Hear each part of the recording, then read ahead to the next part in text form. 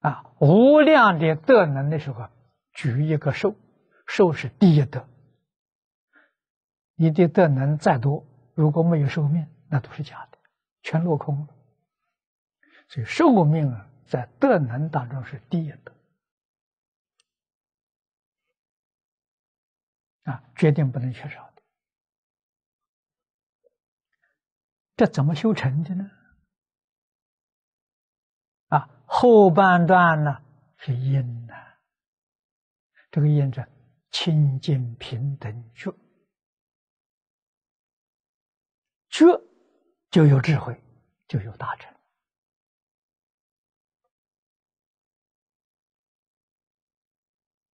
啊，平等。平等是极，就是定。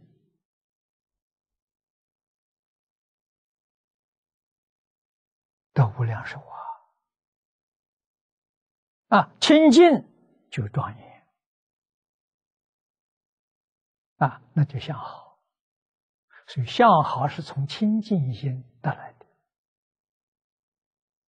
的啊，无量寿啊是从平等心得来的，智慧是从觉得来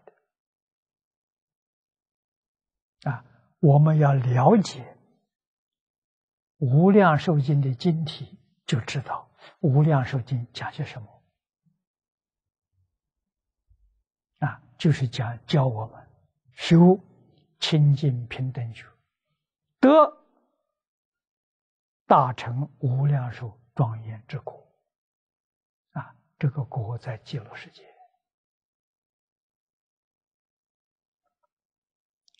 啊，所以即必定啊，远离生死轮回。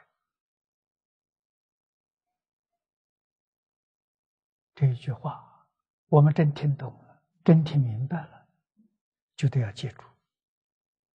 啊，这个“即”字，就包括了《无量寿经》题上的五个字：清净平等觉。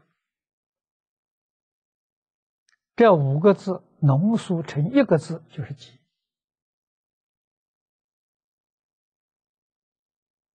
啊，展开来呢，就是清净平等觉。我们用什么方法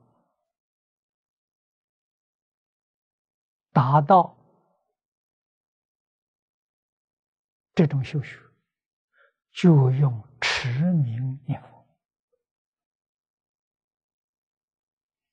啊境界现前，就是前面讲的分动，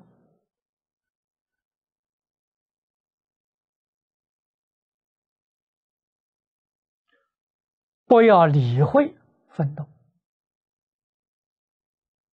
立刻提起六字后面，把我们的心态。转换过来，这就是古时候禅宗大德所谓的“不怕念起，只怕觉迟”。啊，念头起来不怕，为什么呢？我们是凡夫，当然有念头，没有念头是圣人了，那肯定有念头。啊，念头起来的时候，就怕是不觉，不觉是什么？会随着这个妄念发展，那就错了。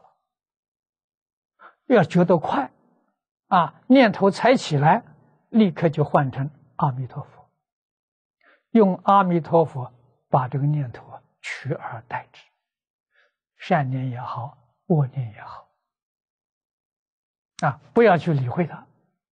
转变成阿弥陀佛就行了，这叫真会念佛，这是念佛真正的功夫啊！啊，你不再受世间一切法的干扰了，分动就是干扰。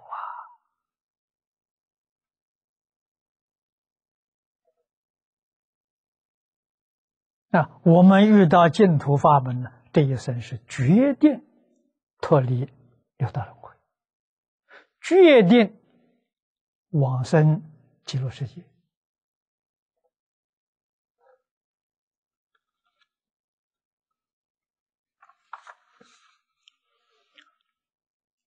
下面第九句，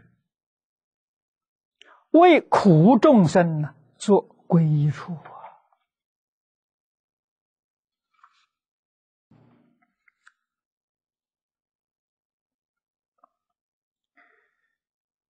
清凉为我们开示的是：九不设悲故。慈悲也，不设慈悲心，常为无益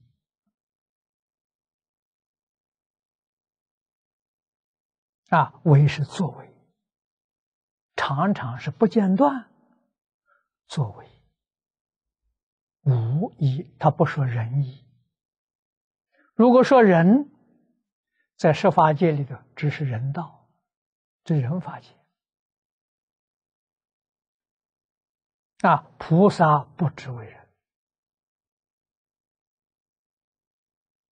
啊，十法界的众生呢，都依靠佛菩萨了，所以用无啊，物的范围比人范围大多了，物里面包括人，啊，人是物的一种。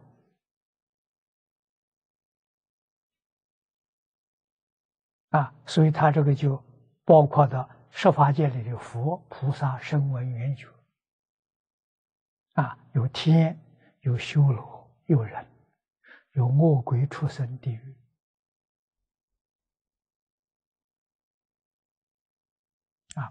无范围就大了。不但呢为这十种有情众生的依靠。而且还为树木花草、山河大地，为法界众生，你这范围多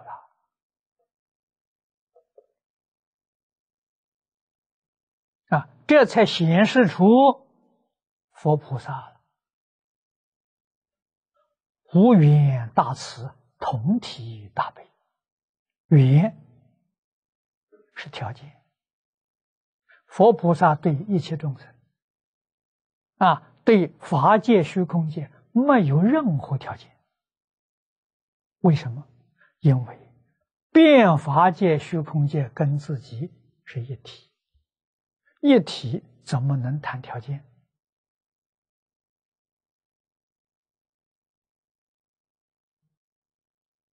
啊，我们迷了自信。不知道众生跟自己是一体啊，所以谈条件呢，就错了。无条件是对的，有条件就错了。为什么？有条件就有分别，有执着；无条件没有分别，没有执着。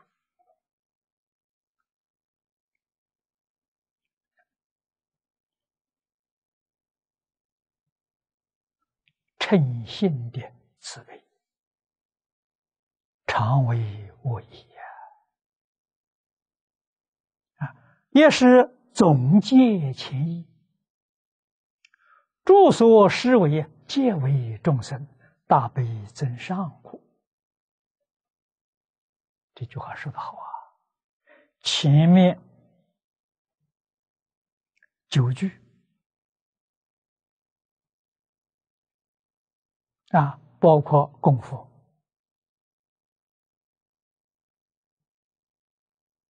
每一句里面所说的都是为众生，不是为自己。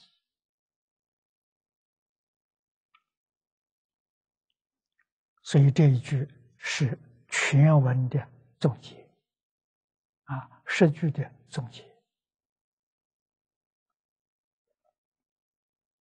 一切为众生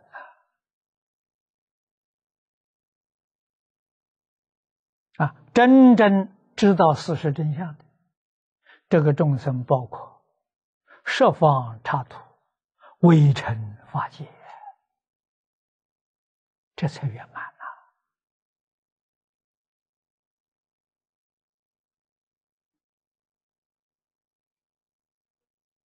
了！啊，这个才是圆满的心得。啊，狭义上来讲呢，圆满的慈悲。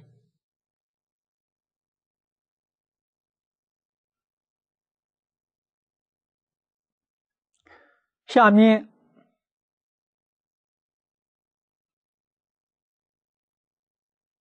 可能有人对这个诗句啊有疑问。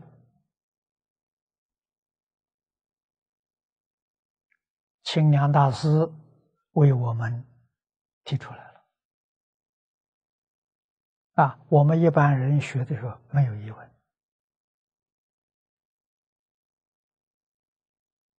这什么呢？一种是你真的明白了，另外一种是粗心大意。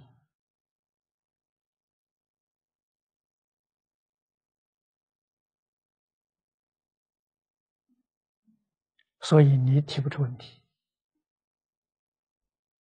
啊！我们看看他提的问题，他说：“问八前面第八条，远离生死。可是第一条呢，又要要助生死，这不是矛盾吗？那个远离生死，你又要助生死。”这不是自相矛盾吗？嗯，此缘何通？这两个意思是相反的，真的。你看，第一句是菩萨，哎，爱好啊，在这个六道生死轮回里面，嗯，他不不舍弃啊，在这个里面帮助苦难众生。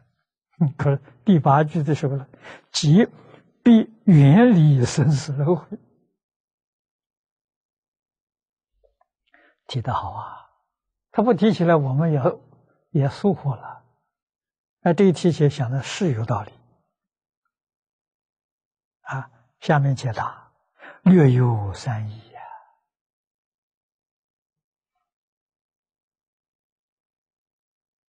啊，这略是简单讲，有三个意思。第一呢，劝无远离，自处无因。劝六道众生的人要远离轮回呀，要了生死出三界，自己怎么样？自己无所谓。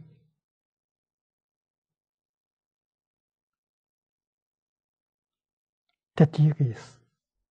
第二个呢，要自无负，方能摄物。负是烦恼。自己要烦恼断尽了，你才能够摄受众生，你才有能力在六道里头教化众生。如果你自己没有这个能力，不行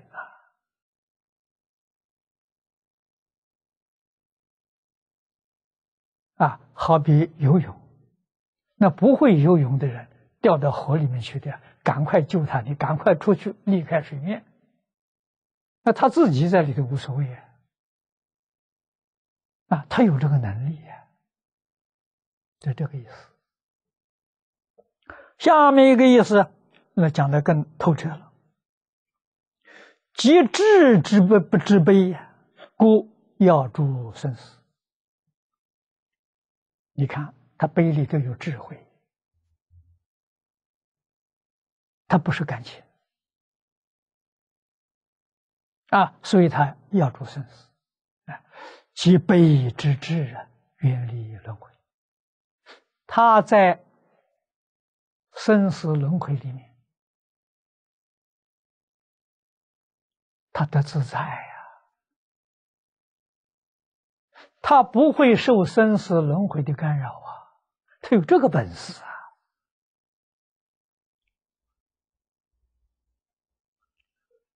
悲之双运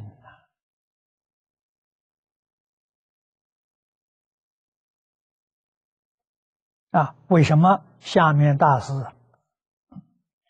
举出《瑜伽师地论》里面的一段话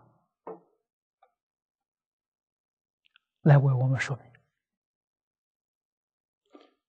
故瑜伽云：“菩萨厌离生死，过于二乘，百千万倍，非不厌也。”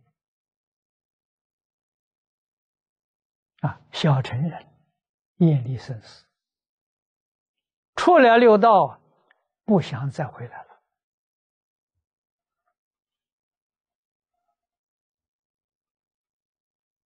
啊，所以经典里面，世尊呢责备小乘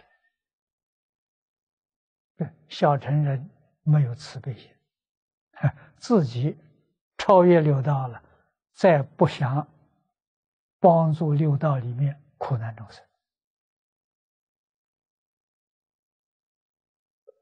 啊！大乘菩萨有智慧，超越六道了，肯定他会再回来。所以，尽宗是大臣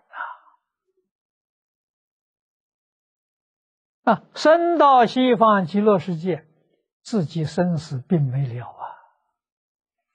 哎他就赶回来，回来不怕生烦恼吗？不怕，什么原因呢？弥陀本愿威神加持的，他不会迷啊！无论是顺境逆境、善缘恶缘，他能够不迷。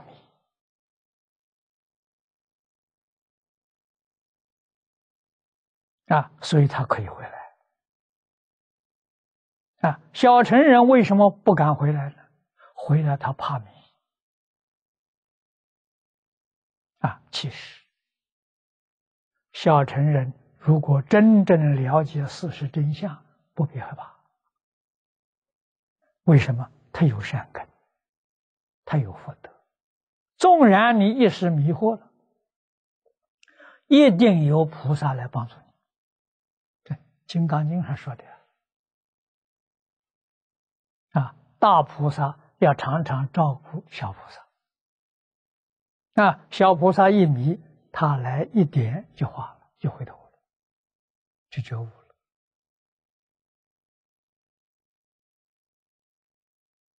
啊，所以佛嘱咐这些大菩萨，就是明心见性的菩萨，要常常护念呢这小菩萨。那那个小菩萨是没有见性的，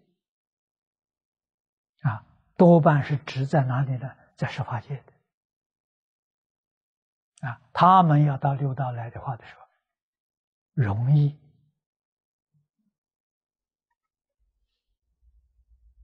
被感染，所以需要啊，祝福与大菩萨来帮助他们。啊我们相信肯定，为什么？大乘教里常讲，佛是门中不舍一人啊？这些小型菩萨在六道里面自行化他了，决定得到诸佛如来化身菩萨的照顾啊，这是肯定的。所以菩萨眼力。生死，菩萨有智慧，对于六道轮回状况太清楚了啊！当然求出离，求出离的心决定超过二乘，这个二乘是声闻缘觉，超过太多，百千万倍。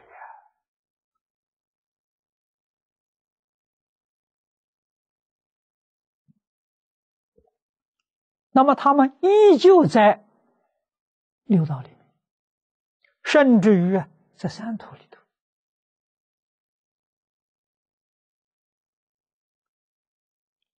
那就是底下所说的是则不断生死而入涅槃，不动真迹，长随流转，成不住道。这个意思深了。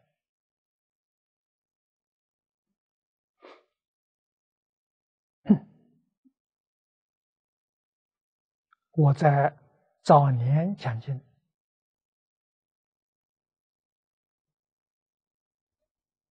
大概三十多年前，我就常讲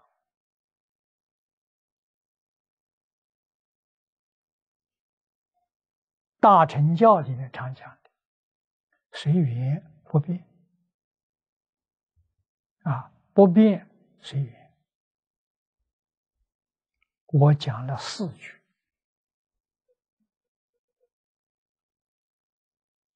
不变随缘，这是化身菩萨，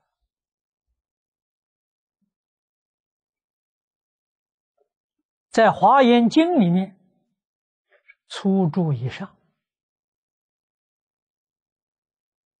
啊，他们是不变随缘，为什么呢？他们都见性啊，明心见性，见性成佛，他是真佛，不是假佛啊。第二种，随缘不变啊，恒顺众生里面修不变。啊，这是是哪些人？这小行菩萨啊，也就是说，没有见性的四圣法界里面的菩萨，包括声闻啊、声闻缘觉菩萨、佛，四圣法界里头啊，有佛有菩萨，所以这类他们是随缘不变。那二乘呢？就声闻缘觉呢？他们不变，不随缘。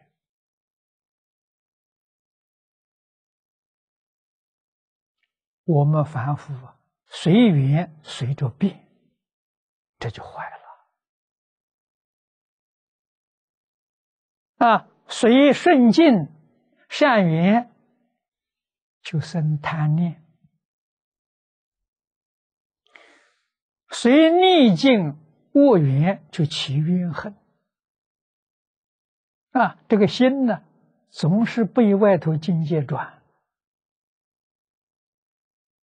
啊，所以随缘随着变啊，那叫造业嘛啊！这些菩萨是化身菩萨啊，换一句话说，通通都是成了佛的人了。他们有能力不断生死而入涅槃，这个就是随缘不变，菩萨了，大菩萨了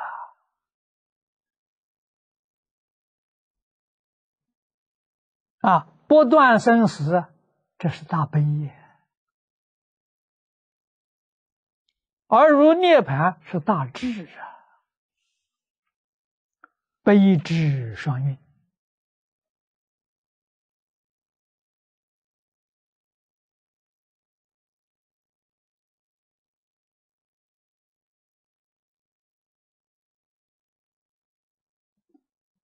这个境界很深，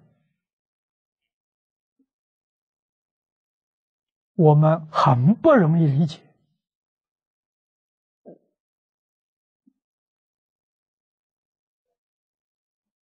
众生有感，佛菩萨就有应。应生在世间就有生死，啊，像释迦牟尼佛，他也有父母，啊，母亲也是怀胎十个月生他。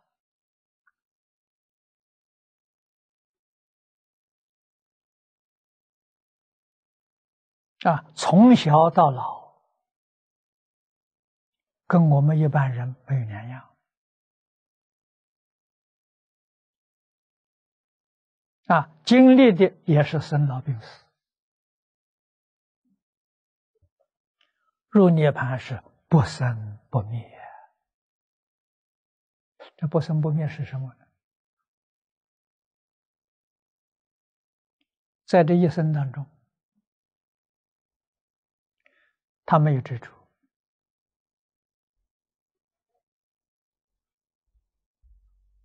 他没有分别。他没有起心动念，这叫入大般涅盘。实际上，阿罗汉真涅盘了，他只不过是把执着放下了啊，执着没有了，他还有分别，还有起心动念。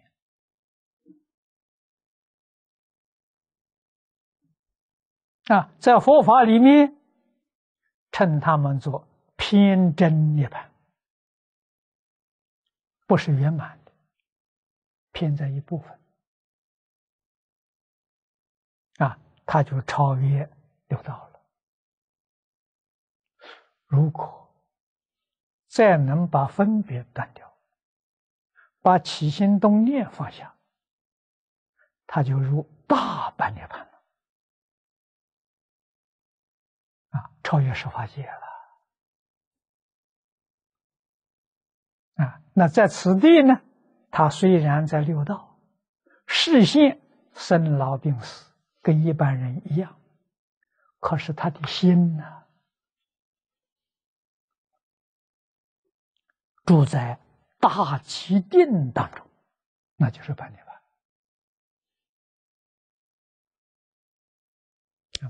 表现的样子跟我们是一样的，你看不出来，是用心不同。他用真心呐，真心就是打败你了。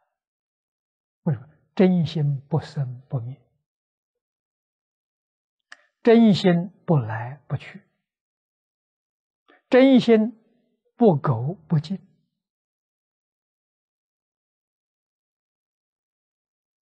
不长不断，啊，八部中观里面就是形容真心，真心就是大半涅盘。外面的样子跟凡夫没有两样，里面的心完全不相同啊！啊，凡夫的心是阿赖耶。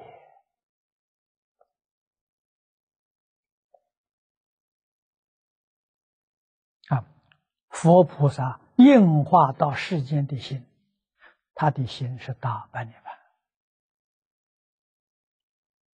这就是不断生死而入涅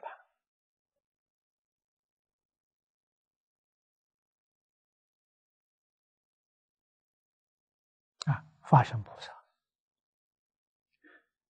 下面说不动真迹，长随流转。这是佛真迹，就是真性，就是真心，就是就近涅槃。这涅槃上加加上就近啊，是谁呢？华严经上讲，妙觉位。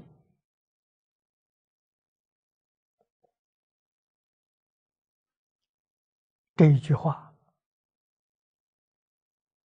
给我们透了一个非常重要的信息。曾经有人问过我：我们在十八图修行，把四十一品无名习气断尽了。成妙觉位了，证到长极光净土了。长极光净土没有形象，没有物质现象，也没有精神现象。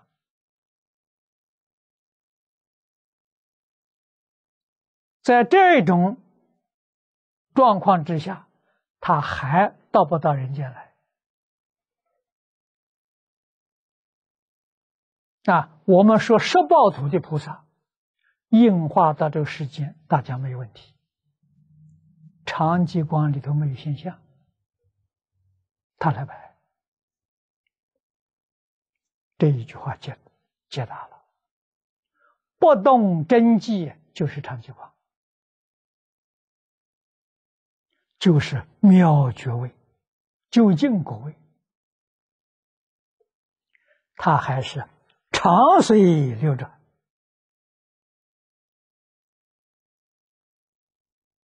啊！也就是说，变法界、虚空界里头，众生有感，他立刻就应。为什么？自性发而入实啊！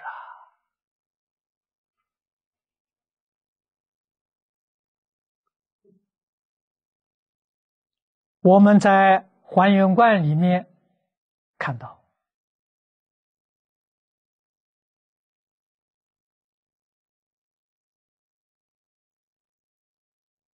宇宙万有的缘起是一念不绝啊！这个一念没有原因，这个一念没有时间，也没有空间，这一念是妄动，也不是真的啊！但是它有现象啊！这一念一动啊，把长激光。就变成阿赖耶了。长吉光是真心，阿赖耶是妄心，从真起妄的。修行呢，修行到最后是返妄归真啊。什么时候返妄归真呢？在华严经上。原教初住菩萨就还原了，哦，不起心不动念了，就还原了。啊，虽然不起心不动念，他还有起心动念的习气。啊，习气要完全断掉，那就是妙觉。实在妙觉哪有这哪有这种名词呢？不得已而说的。真正回归长久忘了，这是我们不能够不知道的。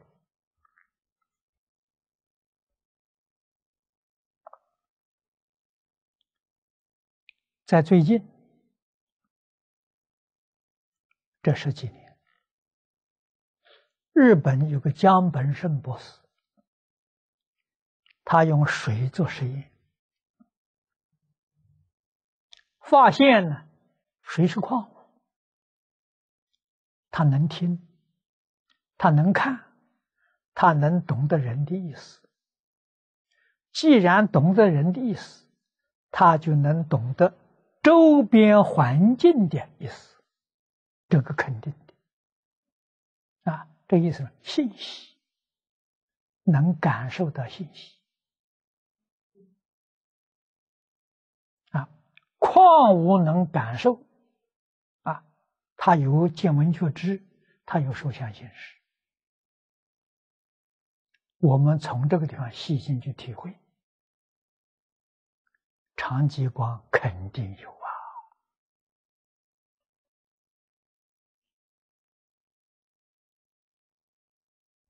啊！啊，虽然他自己不起心不动念。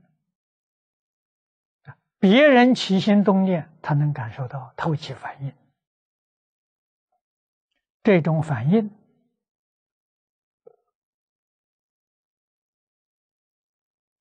应县啊众生有感啊他有应现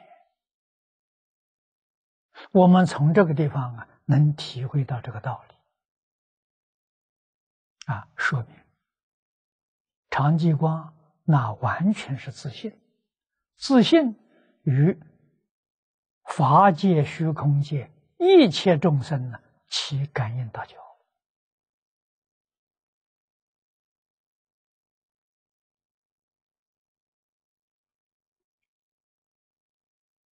这才能讲得通啊！啊，所以幕后者成不住道，这个不住，《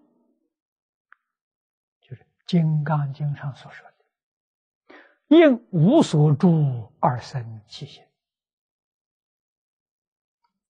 这就是不住道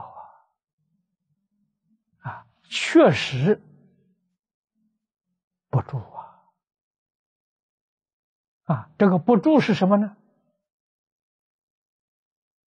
他没有起心动念，他没有分别执着。啊，不起心、不动念、不分别、不执着，他能够给起心动念、分别执着众生呢起感应。这个感应是自然的。这个感应没有起心动念过啊！这个佛菩萨应化在我们这个世界，他有没有起心动念？没有啊！起心动念尚且没有，哪来的分别之处？这才叫做不断生死而入涅槃。不动真迹，长随流转，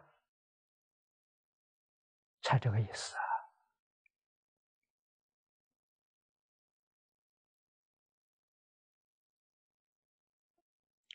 下面又有一个问题，我们看又初是第一句，即。要住生死，这第六，云何啊？佛云何生住佛前？你既然喜欢住生死，用我们刚才的话，你为什么又求生极乐世界？啊，要在升到阿弥陀佛那边去了？这这六道生死，这一步又不通了。啊，你这发的这个愿有矛盾了，这也很有道理呀。啊，那么答也有三个意思，啊，也有三义。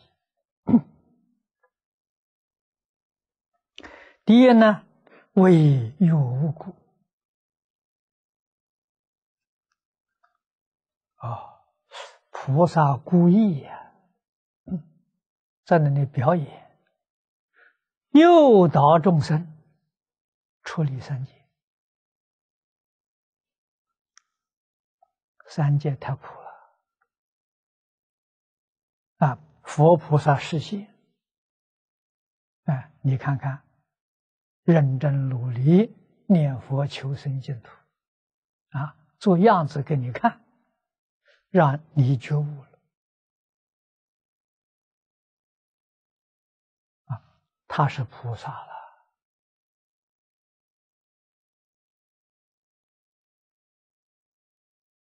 做榜样给我们看的。我们真的是凡夫啊！我们在六道真受苦啊！他受苦是假装的，不是真的。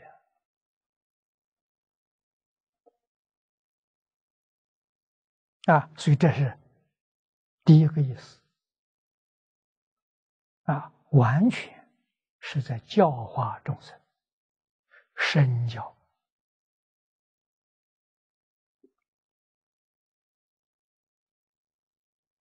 第二个意思呢，求摄物之方故，这是小行菩萨。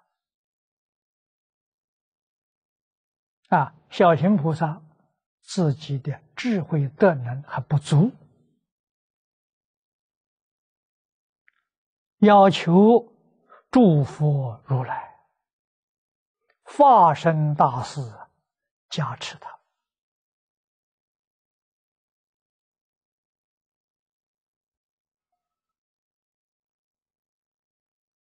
他才能够获得度化众生的方便啊，这是第二个意思啊。第三个意思呢，备知无碍故。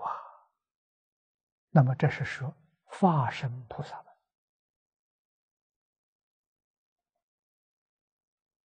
啊。他们在六道里面做种种事业，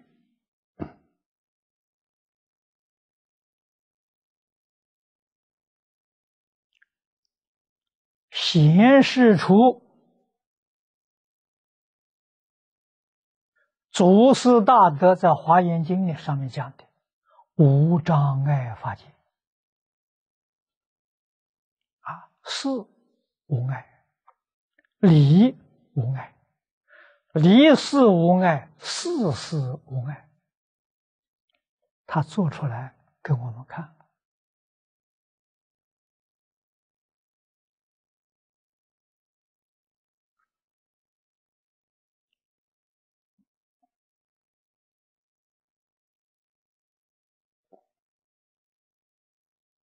这个意思很深。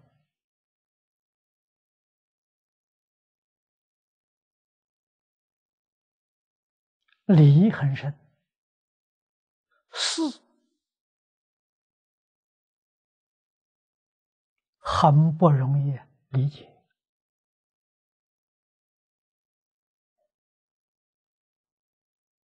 啊。可是，一个人有真诚心，有深信切愿。久久，他能够体会到，他能够渐渐的悟入。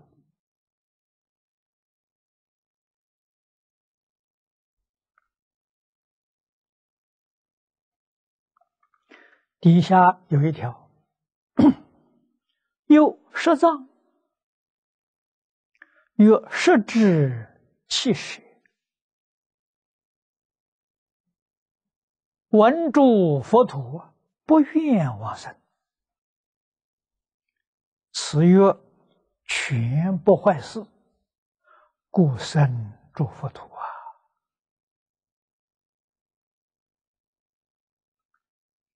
这个话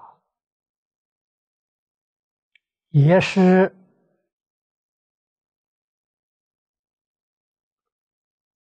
悲智的实现。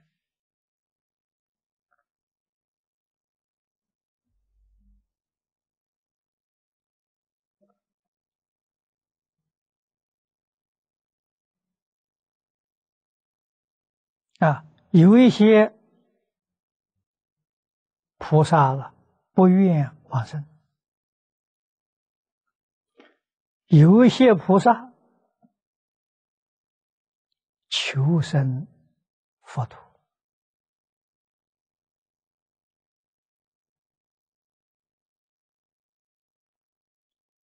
其目的呢，都是为了。帮助众生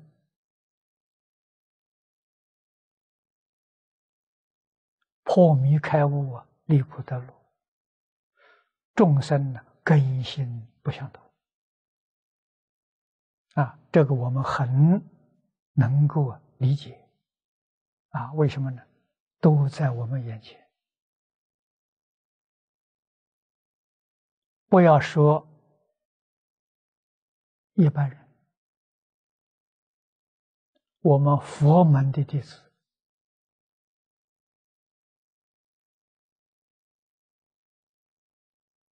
诸位想想，求往生净土的人多，还是不愿往生的人多？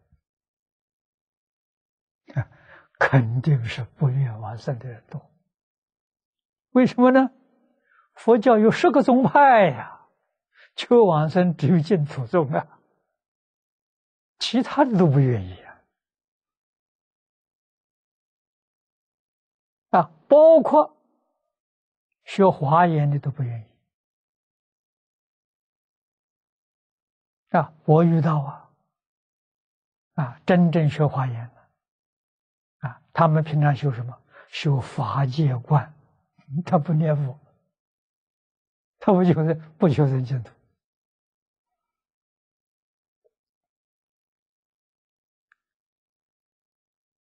啊，为什么？他被法界迷惑了。不知道修净土的好处啊！我学华严经最初也被这个迷惑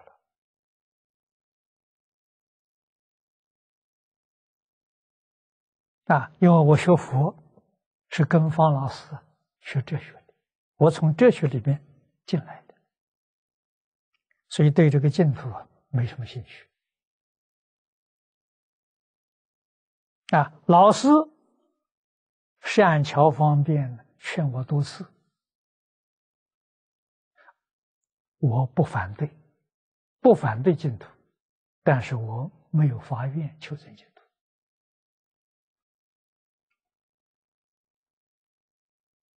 而发愿求生净土还是从华严上来啊，我第一次讲华严经。民国六十年，三十多年前，啊，也讲了很长时间，讲了一半。有一天突然心血来潮，啊，想到《华严经》的两位大菩萨，文殊普贤，啊，突然想到。哎他们两个是修什么法门？啊，正得等觉菩萨位。啊，怀念后面还没讲到嘛，就一直往下翻，哎，翻到后面的时候，发现了文殊普贤都是法愿求生者土，这个让我感到非常惊讶了。啊，这两位大菩萨对净土是那么样的向往，那么样的热衷，而且带领着华严会上四十一位法身大师，就从初住到等觉。都到西方极乐世界啊！我看到这样的经文呢，我也呆了。我想什么呢？你看，文殊普贤是毗卢遮那佛的左右手啊。我们背后这像当中是毗卢遮那了，叫文殊普贤呐。啊，这是。毗卢遮那佛的得意门生呐，入室弟子啊，啊，怎么会把华严会上这些佛菩萨通通带到极乐世界去了，去皈依阿弥陀佛去了？毗卢遮那佛不生气吗？啊，我家里这么多人，你怎么通通带跑掉了？毗卢遮那佛不但没有嫉妒，不生气。而且还鼓掌，好，太好了，这怎么回事？这些化身菩萨在华藏世界修行，要证得究竟圆满的果报，的很长的时间，啊，也就是说无名习气呀，要三大阿僧祇劫才能断掉。可是到西方极乐世界之后啊，那个时间大幅度的缩短了，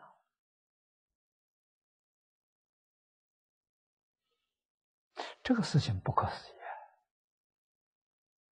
没法子解释。我们相信，为什么呢？真难，真不好懂了。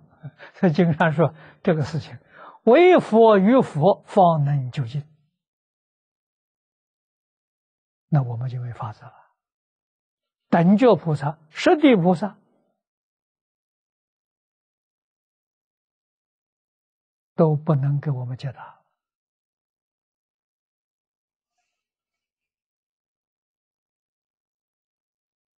啊！究竟果佛，他也不说明。他说：“你慢慢，你证得究竟果位，你不就明白了吗？”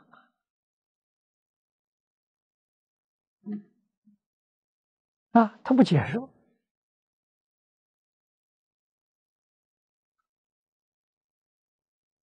不给你说破，叫你自己亲证，这是宗门教学的手段，绝对不是假的呀！啊，所以我们看先前这个。佛门的同修，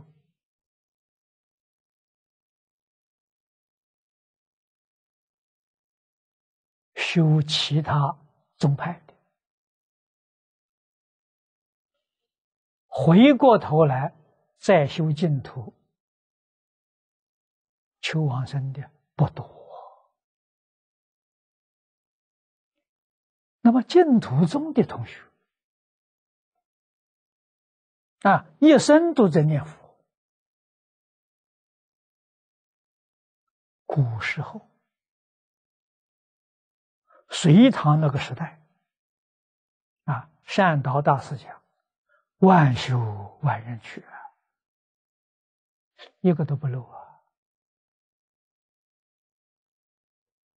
可是，在今天，我们看金宗同学。李老师说的好：“一万个念佛人，真正往生的，他老人家常讲啊，只有三五个啊。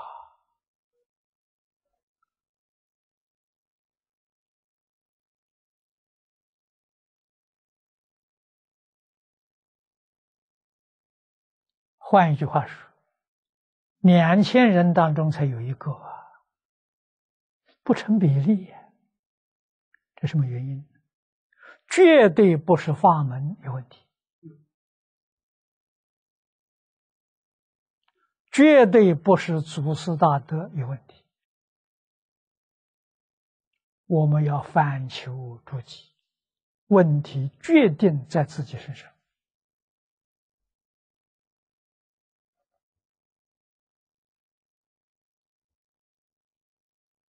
这个不能不知道啊！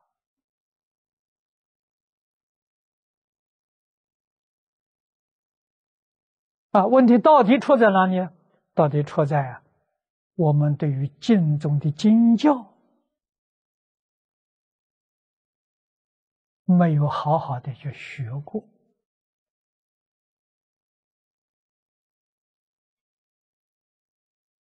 啊，认真。修学经中的经教，你就恍然大悟啊！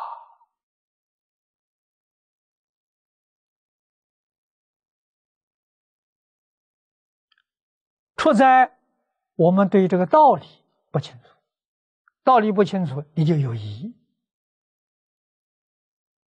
你的信心就打折扣了，这造成你不能往生。第二种呢，方法错误。第三种是烦恼习气没有控制住，这个法门不要断啊！那断功夫高了，这个法门是不断烦恼，但是你要有能力把烦恼控制住。虽有烦恼不起作用，这叫福烦恼你才能往生。啊，烦恼扶不住，不能往生啊！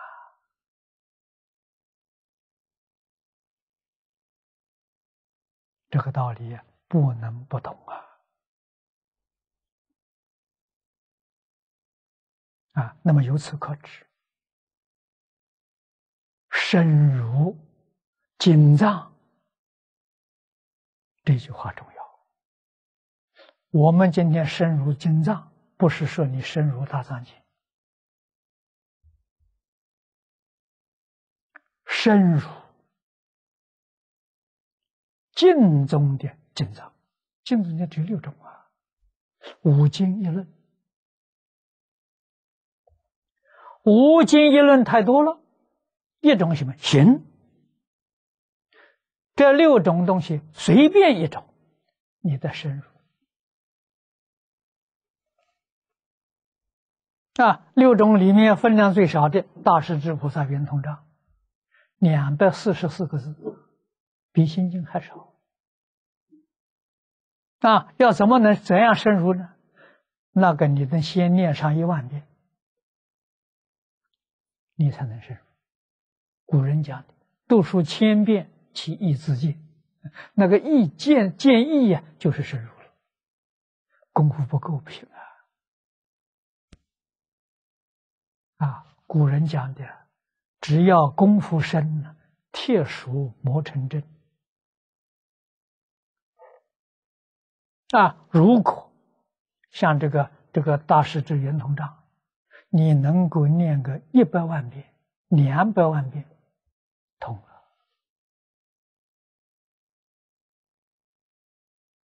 啊，这是真的，不是假的。啊，无量寿经。我常常讲，从这里下手的时候，先念三千遍，一天念三遍，三年。如果一天念九遍，一年，你心定了，定生慧也，那个问题解决了。啊，那真叫万修万人去了。啊，今天时间到了，我们就学到此。